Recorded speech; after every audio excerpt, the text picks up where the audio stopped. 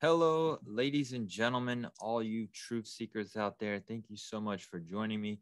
This is Project Truth Beam, and this lesson is going to be on what the Bible says about your health and the body. And uh, this is such an important time to be talking about this because of, you know, us being in this quote unquote situation on the earth. All right. So the body is an amazing thing that we have been given by God. It has an estimated 37 trillion cells. There are 78 organs, 206 bones for the adults, it's over 300 for children. Bones are four times stronger than concrete. The, there are uh, 45 miles of nerves in the human body. Our hearts pump 2,000 gallons of blood each day. We are made up of 60 to 70% water, and that just depends on the person as to how hydrated you are. Uh, we also regenerate and repair. It's truly amazing that we can do something like that. The skin it repairs and replenishes every 28 days. Blood repairs and replenishes 120 days. Bones, 8 to 11 months. Joints, 11 months. And it is a miracle that we can do something like that. God has built into us a healing mechanism, and you need to be healthy so that you can access this healing mechanism. And how do you do that? Well, you keep your body healthy and the things that go into it. Your body is a machine, it is a manufacturing plant to uh, run and create energy. And for that manufacturing plant, you need to give it the correct raw materials to run properly and these raw materials that the human body needs is oxygen, water, minerals, vitamins, essential fatty acids, that's types of oils, omega 3, 6, and 9, amino acids, as proteins. Your body needs gut bacteria. And I also throw in detox. Your body needs to detox, which is what the liver does, but the human body needs to flush out toxins. And it does flush out toxins the body also needs to interact with viruses and bacteria so that it can form an immune system. If you hide from these, you never interact with them, you will not have an immune system, and therefore the body is at risk of dying. The body also needs sunlight, needs sleep to recharge, needs exercise, laughter, love, and most important, the body needs purpose. Every every human needs purpose in life. Otherwise, they just shrivel up and they are depressed. And depression and stress lowers the immune system quite drastically. I was told from a study that your immune system drops 30% just from mental stress. So let's get into the Bible and what we find there about the body and health and sicknesses and all kinds of stuff like that. We're going to start with the book of Genesis, back with Adam and Eve. Now, Adam and Eve, they're the first two created. By the way, we've done DNA mapping of the genome of humans, and they have found that we all go back to one common female. So that is further proof, science proof, that we go back to Eve. Also, the if it goes back to a woman, well, there has to be a man to create the first child. It can't just be a single woman by herself. It has to be a man and a woman. This is the same dilemma that the uh, uh evolutionary or evolutionists all say, oh, which came first, the chicken or the egg? Well, it's impossible. That's an impo- impossible situation you have to have a rooster and a chicken to make the first fertilized egg. You have to have half of the chromosomes from the male, half the chromosomes from the female to ever get the first created baby. So there is no which came first, the chicken or the egg. That situation has been solved. It's in Genesis where God created male and female. And it's really cool because science is always proving the Bible correct. You look at Adam and Eve when when God created Adam, he made him out of the likeness of, of God, and then he breathed in the breath of life to Adam.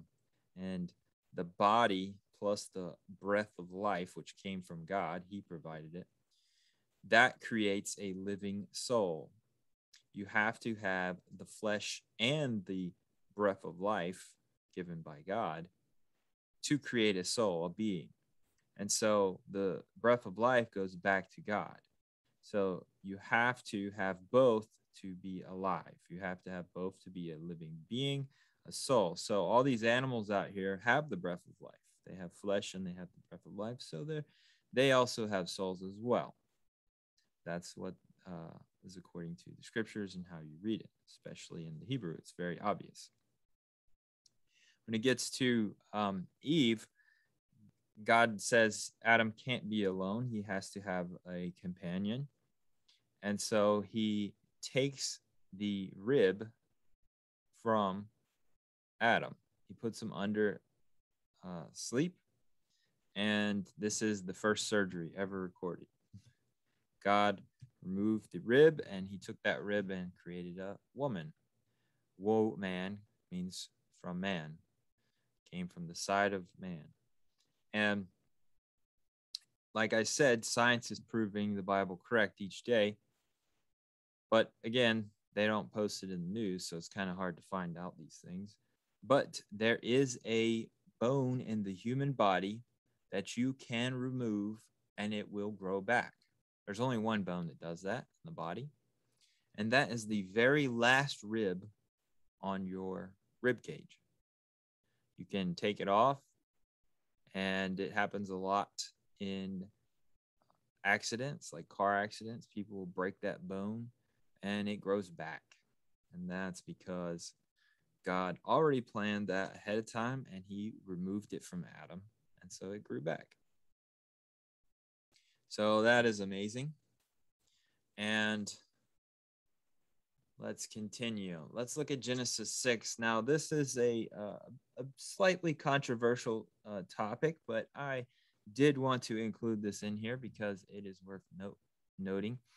Uh, Gen 6 is um, uh, chapter where it talks about the fallen angels try to corrupt the DNA of the people prior to the flood. And they were mating with the daughters of men. And God was not pleased with this. And you could read it as if they were producing giants or mighty men. The word is Nephilim. Um, you can legitimately translate it either way. However, um, I lean towards giants. But the the point of the story was Satan was trying to corrupt the DNA to prevent uh, a lineage so that the Messiah could come, so that Jesus could come into the world. And God saw that Noah and his family were still righteous and they were not corrupted. And so he wiped out the whole entire world, saving these eight people in a boat. And by the way, that story exists on every continent in every culture around the world. It predates uh, the written scriptures of the Bible. The Noah's Ark global flood, saving all the animals.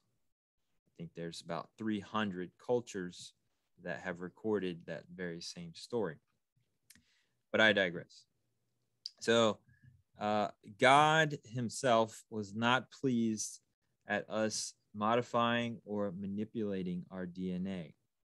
And I can completely understand that because we uh, were created by Him and we were made perfect in His eyes. And so, why would you want to tinker and change DNA, which is the signature on every living being on this planet of God. That's his signature. That's his stamp of approval or his markings, his DNA. And so I think a lot of people need to be asking themselves if it is a problem here in the near future for us to be modifying our DNA. Is it a moral issue? You know, what are the ramifications spiritually? And also, what are the ramifications physically, scientifically? Because people are editing their genes. They you can buy CRISPR online now, and they are tinkering with themselves. You can go in and get procedures done to tinker with your genes and mess with your DNA. It's called gene editing. And uh, there's even some new uh, jabby jab shots in the arm that modify your DNA directly and indirectly. And, you know, we need to be asking ourselves is this safe? Is this healthy? What are the side effects later down the line? You're messing with something that is very important. Your DNA is very important to your human body. It tells the body a lot of information and a lot of things to do. So I thought I'd mention that the Bible does tackle Gen 6, and uh, it didn't look like God was pleased with that. Let's talk about the book of Job.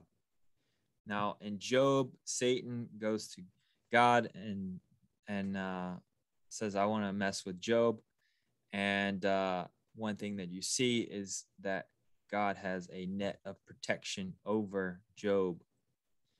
And uh, Satan was like, Well, I can't touch him. I can't mess with him. You have a net of protection because he has such a relationship with with uh, God. And uh, I think this is important to know that humans can have this net of protection. God can protect you. He can keep you from the evil one who wants to destroy your life and send diseases and pestilence at you. We look at Job, how Satan struck him with sores from his head to his toes. And that was because Job was being tested. God pulled back that net of protection, and then Satan came in to do his dirty work. Do the dirty work. And so I think that this is important that we are to get right with God, to have a, a tight relationship with Him so that we can be in, uh, certain that we have this net of protection. We if we live a, a, a displeasing life to God, how can we um, be certain that we are going to be p- protected from these plagues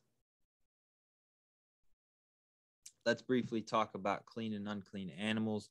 This is this is uh something that's kind of controversial to mainstream Christianity. Um, if you you know think well uh, you know clean and unclean animals that's not a big deal. Well, God outlined what was clean and unclean at the beginning of creation. He made the animals clean and unclean. And by clean and unclean, he defines what is good for food. He tells us what is good for food. And there shouldn't be any debate on this.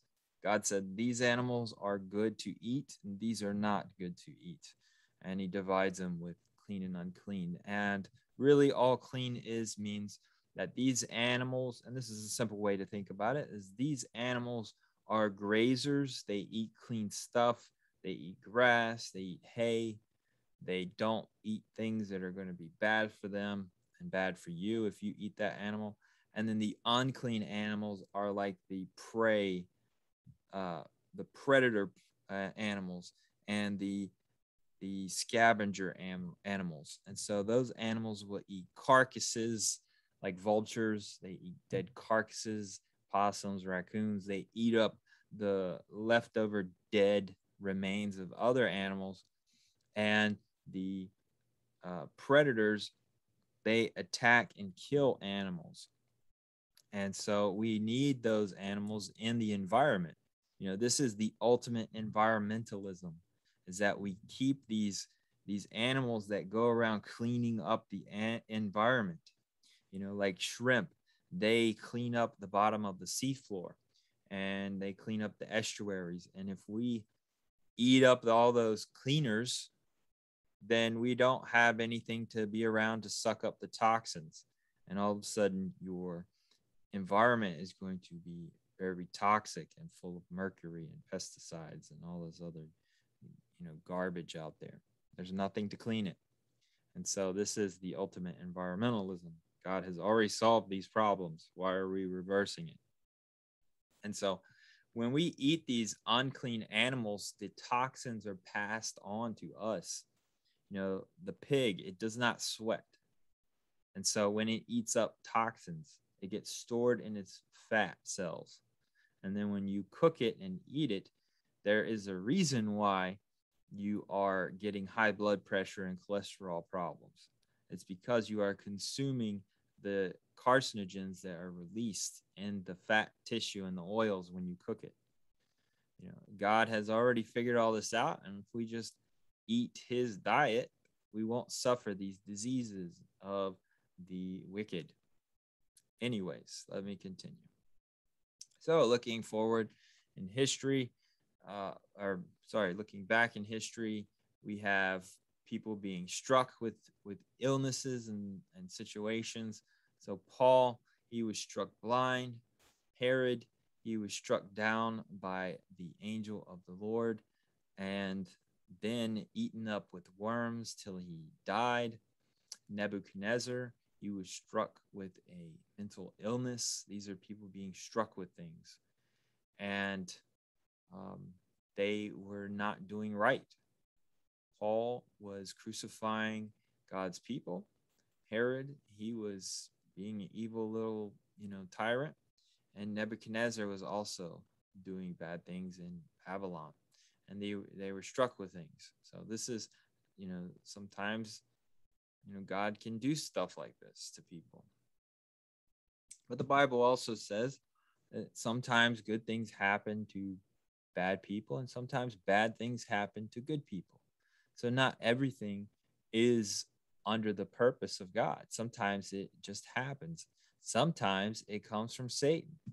And a lot of people want to blame God for everything. You know, anything that happens wrong, they just want to blame God. Well, wait a second. You know, why aren't you blaming Satan for some things?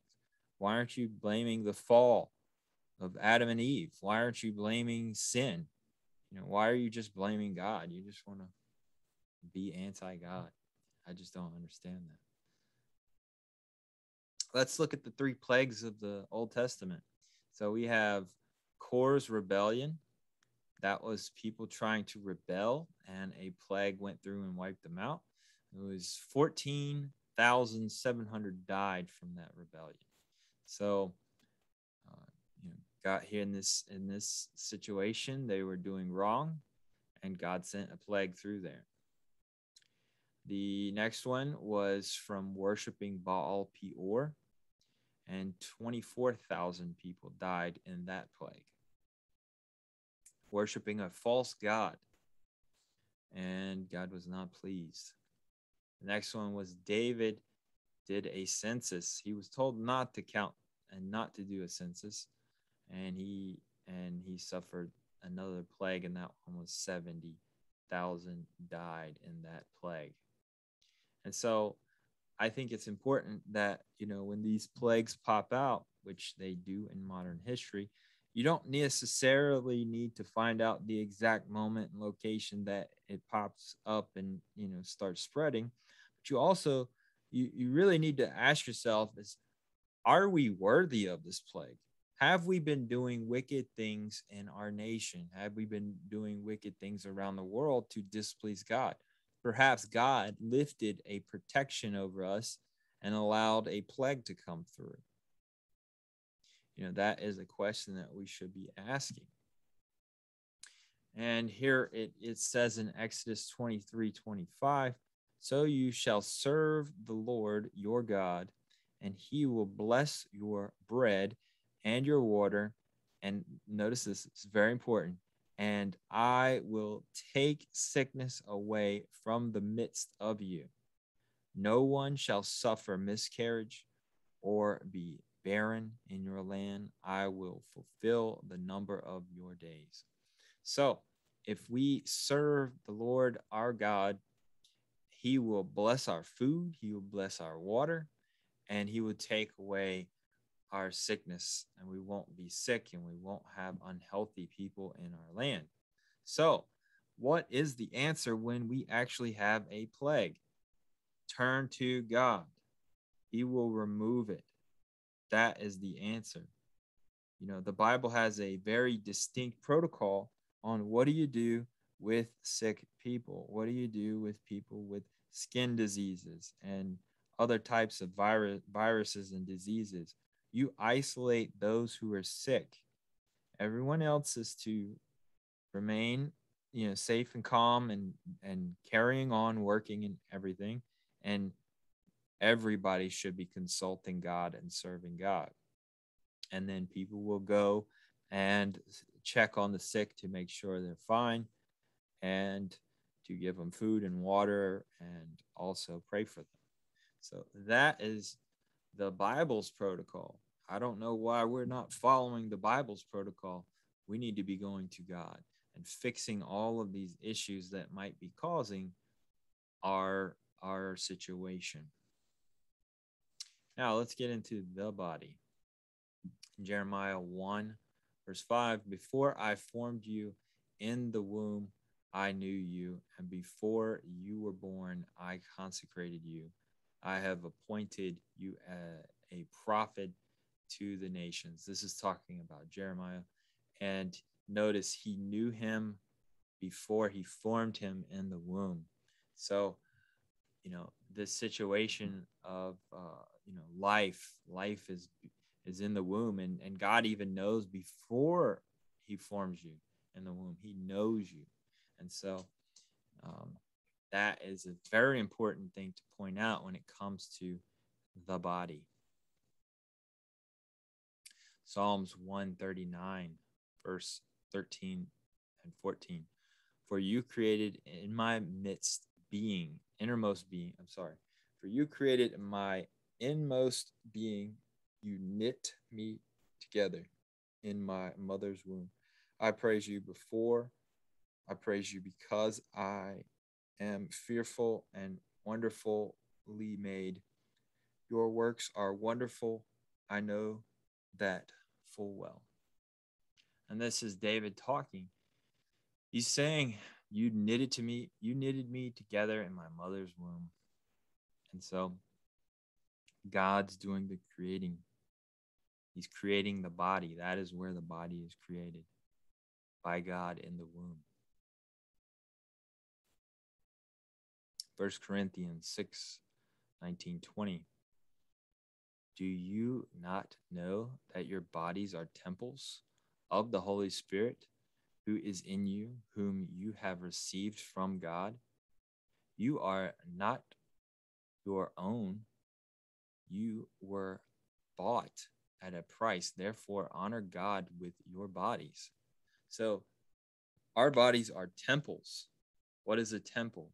It is a place to to uh, go to and worship God and to have the light of the world in it, the, the menorah, to have the bread, the wine, and to um, pray and to be holy and clean. You're supposed to have a clean temple.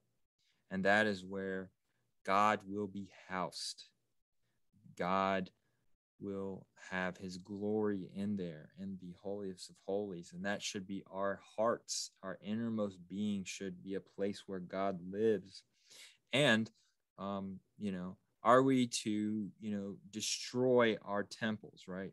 Just, just treat it like it's, you know, some abandoned building and, and spray graf- graffiti all over it and to you know not take care of it when it is falling and dilapidated the roof's falling in and bricks are falling off.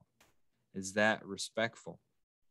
You know if if god's saying that our bodies are not our own that they're his and he has given them given these bodies to us to experience this world and to um, house his holy spirit to do his work inside of us then we are to respect that and to treat it properly. You know, it goes back to our, our manufacturing. You know, are you treating your body with respect that you're giving it all the water and the minerals and vitamins and all the other things that go along with it? The body. Romans 8, 10 through 11. If Christ is in you, though the body is dead because of sin, yet the spirit is alive because of righteousness. But if the spirit of him who has raised Jesus from the dead dwells in you, he who raised Christ Jesus from the dead will also give to your mortal bodies through his spirit who dwells in you. He will give you everlasting life through your your inc- your corruptible bodies. He will put in his spirit that dwells in you, and later you will get incorruptible bodies. In the kingdom, you will get new bodies of flesh that are glorified. So again, this is this is uh, you know saying that your bodies are sinful but everything can change when God puts his spirit in you and dwells in you. So your bodies are vessels. Romans 12, 4. For just as each of us has one body with many members, and these members do not all have the same function, so in Christ we, through though many, form one body and each member belongs to all the others. So even though we have our one single body, which are uh, vessels to hold the Holy Spirit, we are also connected. We're connected to a one bigger body, and that is all the followers of Christ, all those who are in covenant with God and are living righteously and following, you know, what God has said to do. Those people are part of our body. We are all together connected. So there is our physical body and then a bigger body, body of believers. And, you know, we can be a foot and we're just in, as important as the one that's the hand or the heel and the just don't be the armpit you know i just say that's not a place to be but it's important we need an armpit everybody needs an armpit moving on. So First Corinthians 9 24 through 27. Do you not know that those who run in the race all run, but only one receives the prize? Run in such a way that you may win. Everyone who competes in the game exercises self control in all things. They then do it to receive a perishable wraith, but we and imper- uh, imperishable. Therefore, I ran, I run, this is Paul speaking, I run in such a way as not without aim. So he runs with purpose. I box in such a way as not beating the air, but I discipline my body and make it my slave, so that after I have preached to others, I myself will not be disqualified. So, we are supposed to discipline our bodies, to exercise our bodies, to be at our top phys- uh, physical shape, so that we can go and run a race, do a task that God has called us to do. It is responsible for us to be in good health so that we can go on and do God's will. You know, how are you going to get out and preach God's word to the unbeliever if you are extremely overweight and are tired all the time and have brain fog because you don't eat healthy? You know, how are you going to do the best job that you can do? It's going to be difficult. So you need to motivate yourself for God to get in shape for the race. Do not be afraid. I want to encourage you. Do not be afraid. Proverbs 17, verse 22. And this is for all those that are afraid of our situation and afraid of you know the diseases out there. Proverbs a cheerful heart is good medicine, but a crushed spirit drives up the bones. And this is so true because they, like I said earlier, you know, when you have mental stress, the immune system drops 30%. And so you can ask doctors and nurses, you know, when when there is a support group, when there are more people coming in and loving on those people that are in the hospital with these diseases, they will heal faster when they are happy and they're receiving love and they heal slower when nobody comes and visits them. So get out and visit the sick. Matthew 10 28. Do not be afraid, for those who kill the body cannot kill the soul. Rather, be afraid of the one who can destroy both the soul and the body in hell and the grave. And so that is another point Everybody wants to run around being afraid, being afraid. Ah, you know, God has not given you a spirit of fear. You're not supposed to be afraid. The enemy wants you to be afraid. Satan wants you to live in fear. You, you know what? When you get everybody stirred up in fear, people make bad decisions. People do bad things. People are easily manipulated when they are afraid. Be afraid of the boogeyman outside of camp you know they can use that against you. And so we're not supposed to be afraid. We're supposed to be we're supposed to be powerful priests and kings on this earth. We're supposed to be in charge. And god does not want us to be afraid because uh you know satan is the one that wants us to be afraid. And he can manipulate us. And it's saying here you got the wrong priorities. Don't be afraid of death. You need to be afraid of the one who can destroy both the soul and the body, and that's the Almighty. The Bible says, first seek the kingdom of God. You're supposed to seek God's face and have righteous fear. You fear the wrath of God. You fear disappointing God. You fear disappointing the Father in heaven. That's the type of fear you need to have. You don't need to be afraid of this world. This world is only a test, the testing ground for the next. Matthew 5 29. If your right eye causes you to stumble, gouge it out and throw it away. It is better for you to lose one part of your body than for the whole body is to be thrown in hell. And that place is Gehenna. That's also it's the fire. And so I put this in here because it's important to say this is an allegory. This is a, a metaphor, metaphorical speech uh, talking about if something is in your life that is messing you up, it's causing you to stumble, is causing you to break with your relationship with God.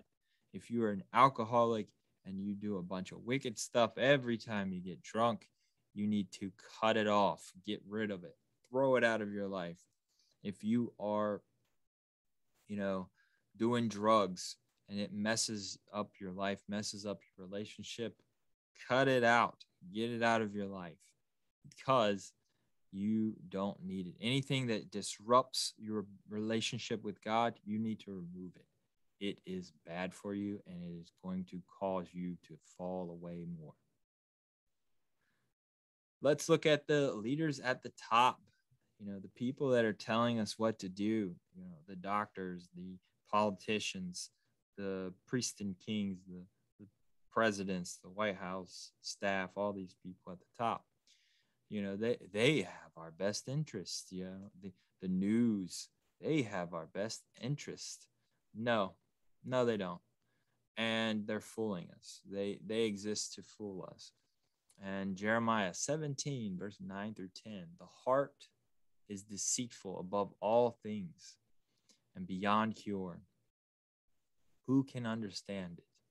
I, the Lord, search in the heart, search the heart, and examine the mind to reward each person according to their conduct according to what their deeds deserve.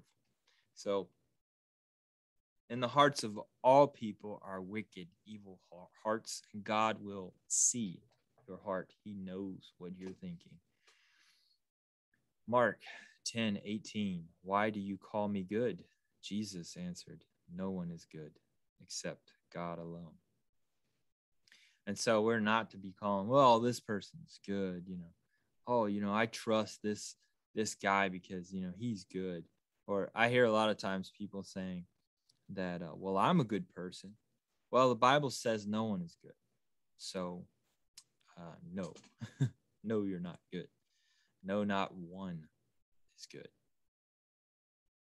Psalms 146, verse 3 Do not put your trust in princes, that being like governors and leaders, princes, uh, nor in a son of man that's just a, a leader, in whom there is no help.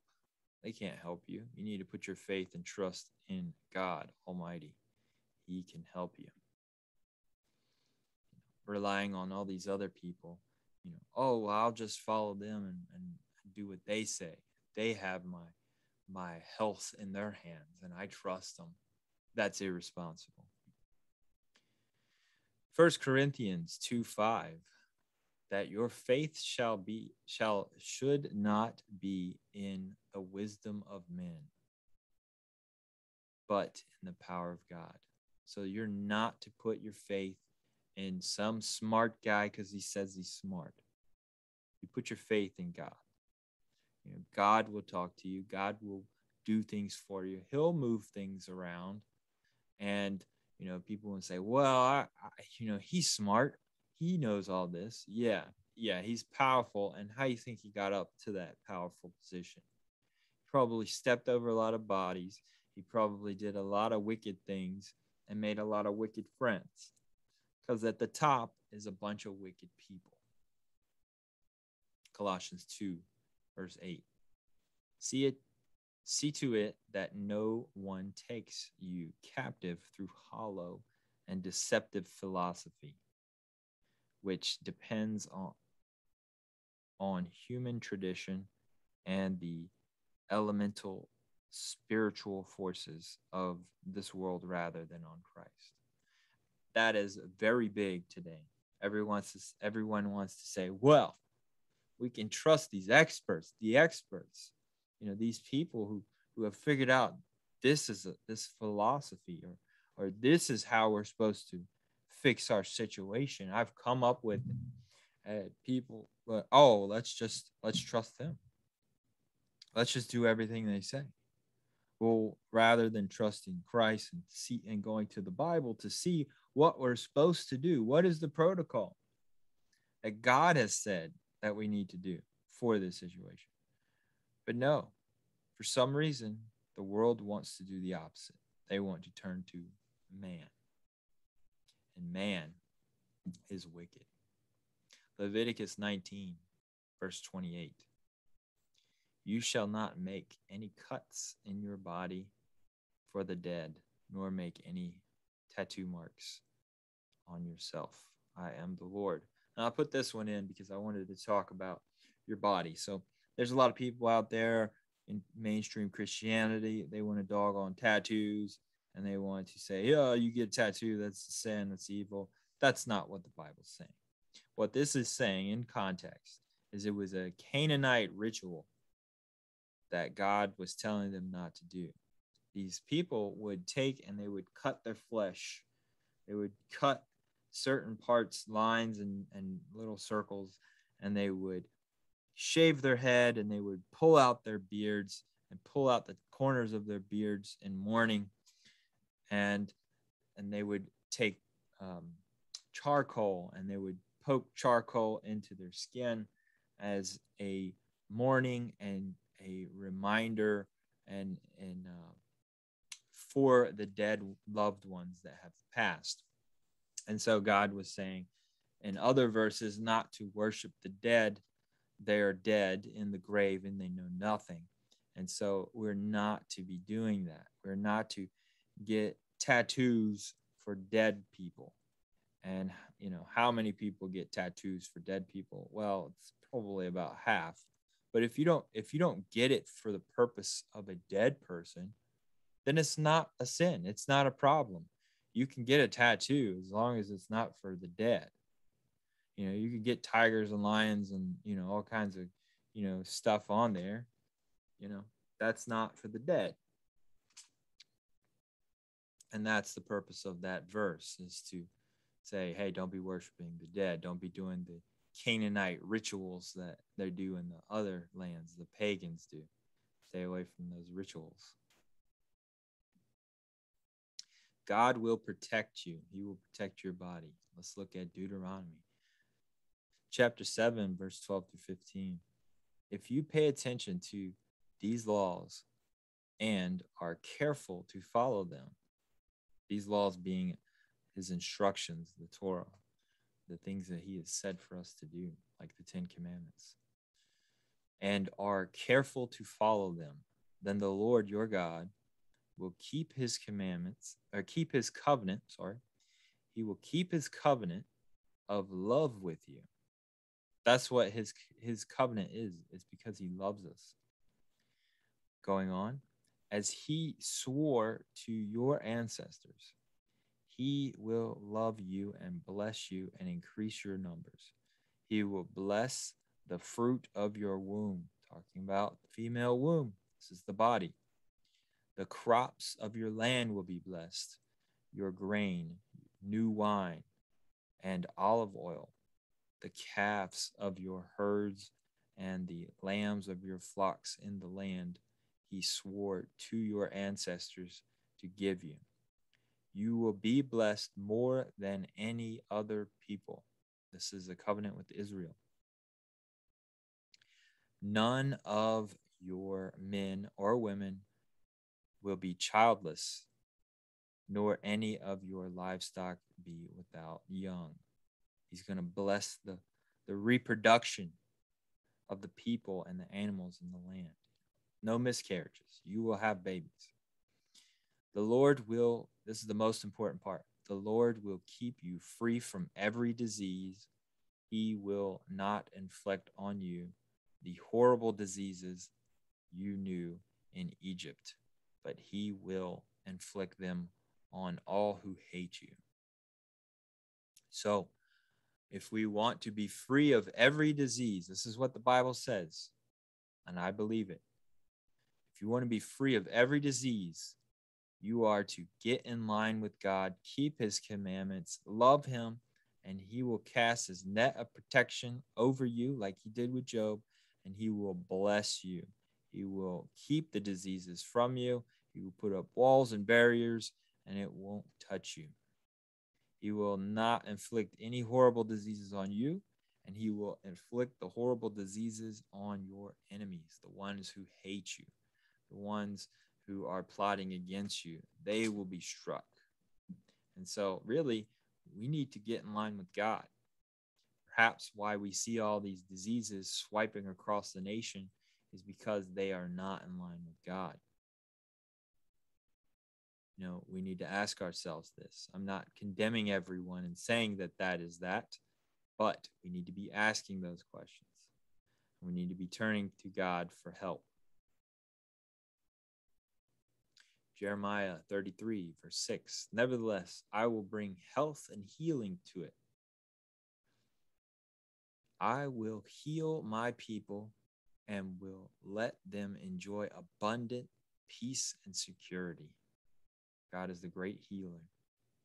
Exodus 15, verse 26. He said, If you listen carefully to the Lord your God and do what is right in my eyes, if you pay attention to his commands and keep all his decrees, I will not bring on you any of the diseases I brought on the Egyptians, for I am the Lord who heals you. So, you know, he brought diseases and pestilence and boils to the Egyptians. You know, they were, you know, worshiping other gods, they were doing wicked things. And if we if we follow God's commandments and we turn to Him, He will protect us and heal us. Skin disorders. I have to talk about skin disorders. Now, the English Bible, it translates it as leprosy. Leprosy doesn't show up till well after Jesus, like 600 years after Jesus. It's not a disease of the ancient times. And leprosy, uh, that word in Hebrew is skin disorder. So it's some sort of rash, perhaps psoriasis, some kind, sort of nasty skin disease that was popping up. And it was because of sin. Let's look at Luke 5, verse 12 through 15. While Jesus was in one of the towns, a man came along who was covered in the skin disorder. When he saw Jesus, he fell with his face to the ground and begged him, Lord, if you are willing, you can make me clean. You know, because they considered you unclean because you had a disease. You couldn't go to the temple and make sacrifice to God. You couldn't make the animal, uh, give animals. You couldn't pay them. You couldn't even be up there because you were unclean. You had to wait until your disease was gone for you to be clean. Then you could go make your animal sacrifices. Jesus reached out his hand and touched the man, which was shocking to everyone because Jesus would become unclean at that moment when he touched a unclean person. And most people were afraid of lepers, or not lepers, but skin disorders because they were afraid it could get passed on to them. And nobody touched those people, and Jesus touched them. I am willing, he said. Be clean. And immediately the skin disorder left him. Then Jesus ordered him, Don't tell anyone, but go, show yourself to the priest, and offer the sacrifice that Moses commanded for you, cleansing as a testimony to them. Yet the news about him spread all the more so that the crowds of the people came to hear him and be and to be healed for their sicknesses. So Jesus was telling him the proper procedure. He healed them and he told them, You go visit the priest because that's the next step. The priest is supposed to come look at you and to see and verify that you are clean, that you don't have the disease anymore. And then you are to go dip in the water, and then you can go enter into the temple area and present your animal sacrifices. Let's look at the woman with the blood issue, people with the bleeding issue. This is this is saying that you know Jesus can heal you. You know, he was the the uh, the vessel which God healed people. And if you notice that God or Jesus would tell them, God has healed you, now repent and sin no more. Let's look at Luke 8, verse 43 through 48. Now, a woman having a flow of blood, I mean, she was bleeding constantly for 12 years. So, uh, bleeding is is not is is unclean. So you can't go up to the temple if you're bleeding. It's not really a sin, but it's an unclean issue.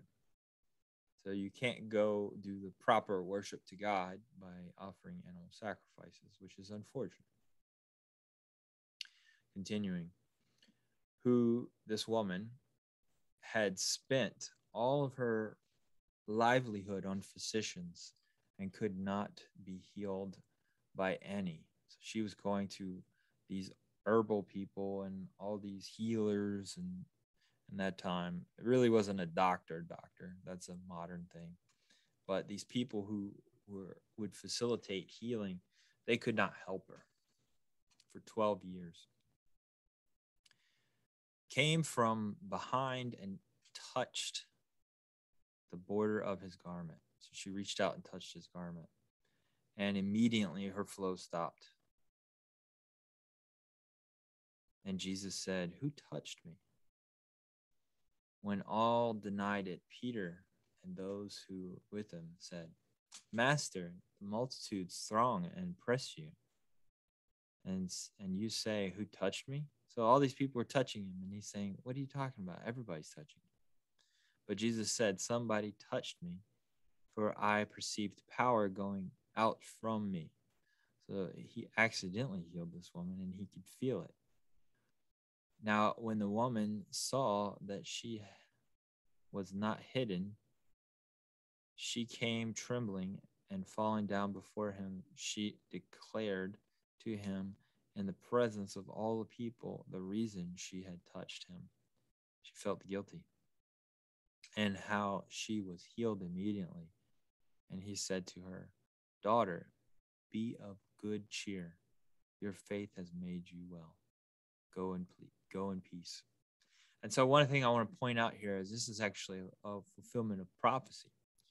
In the Old Testament, it says that the Messiah would have healing in his wings. And in that, in the Hebrew word, for that, it's related to tzitzit, which is a tassel, the tips of his talit. And so when she reached out and touched him, she was grabbing onto his tassel that represents God. That's what the tassels mean. They represent God. And so that she reached up and grabbed his tassel, which the Bible says the Messiah will have healing in his tassels. So that was a fulfillment of Bible prophecy. Let's look at encouragement. Joshua 1, verse 9. Have I not commanded you? Be strong and courageous. Do not be afraid. Do not be discouraged, for the Lord your God will be with you wherever you go.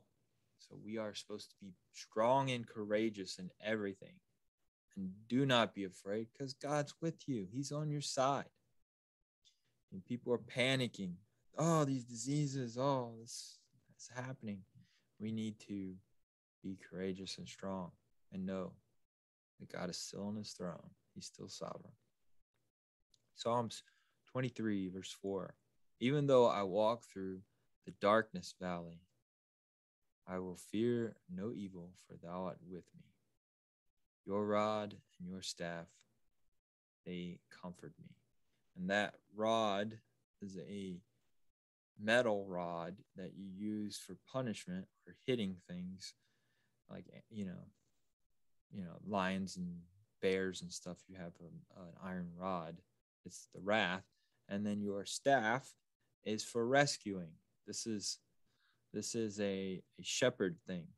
So his staff is to rescue you and save you and pull you away from you know cliffs and rocks and and to you know guide you and to count you. They would have him walk underneath the staff and they would count them with little taps and say one two three four five. I have all five of my sheep. And so we are to not fear any evil because god is with us even in the dark times. Even during a global plague. Psalms 91 this is such an amazing chapter. I encourage everybody to read Psalms 91.